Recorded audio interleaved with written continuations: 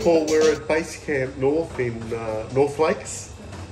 Uh, you used to have a traditional, I think, three group head machine here. Yeah, that's right. What's the difference now that the Enigma's installed? Well, it's consolidated a lot of bench space. Obviously, we would have had a separate grinder uh, and a machine. Um, the quality control points of those two things were separated. Now it's just one, uh, which is a, a great benefit. Um, speed has improved on, on, on, this machine. This two group actually outperforms the three group significantly, um, and it does so in a sort of passive way. We can kind of begin a process whilst that's passively taking place, start another process, line up jugs, that sort of thing. Um, inconsistency on the manual machine is always a problem. So, you know, you have to measure out every single dose. Yields vary about as much as, uh, as, they, as they tend to. Um, on this machine, those two problems don't seem to be there. Um, yield outcome's good, dose is good. The fact that we can just, with a touch of a button, distribute hot milk ready to pour without having to physically steam it, that's a, a chief benefit too. We've gained a lot of um, space and tend to utilize it.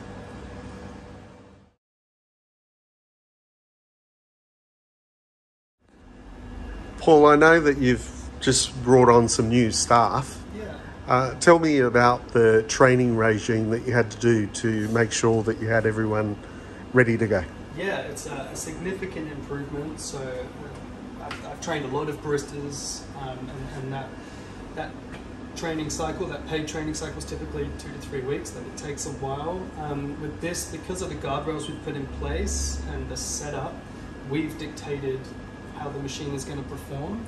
Uh, and all we really need to do is get baristas familiar with the interface, uh, and we know with that that we can guarantee a certain type of quality out of the machine. I, I think it would take, it hasn't really taken more than an hour to get the same outcome out of each member, where that process would normally take two weeks to train someone.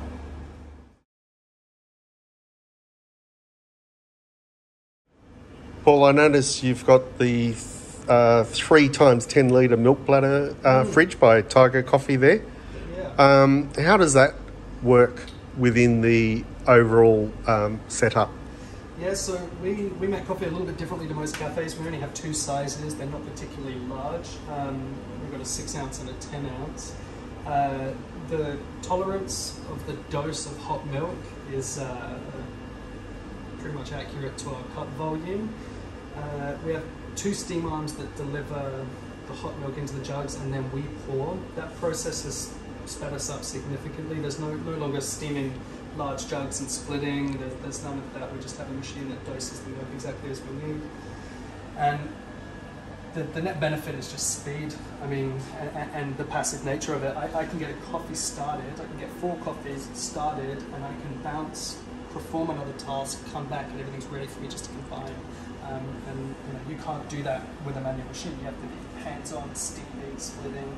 That all goes away. So the, the milk bladder system is yeah, hugely beneficial.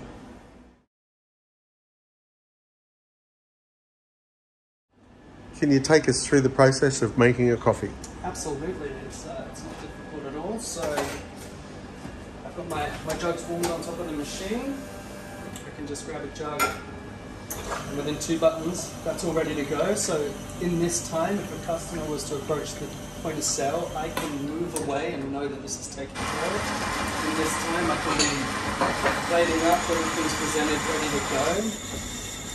Um, the, the milk is dispensing at exactly the temperature we need. I'm agitating because that's a force of habit, but you can just leave it completely alone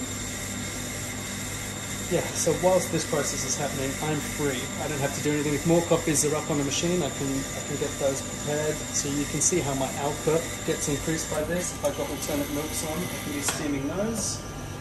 There's no wiping a nozzle, nothing like that. I'm ready to go.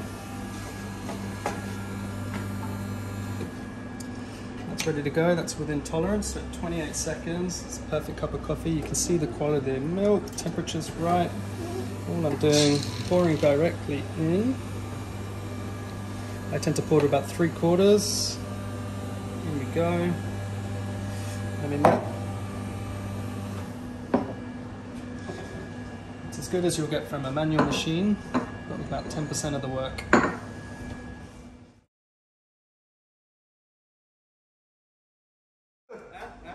So, Paul, how many kilos a week does the uh, cafe do?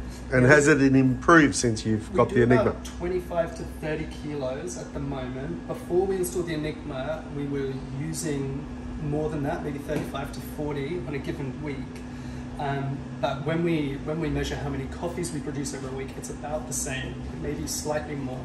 So what we're getting is more out of less with the Enigma, way way more. Paul, you're heading off to the UK uh, in 15 days. That's it. Uh, we we know that you've been around traditional uh, barista machines and also the Enigma super traditional. Yeah.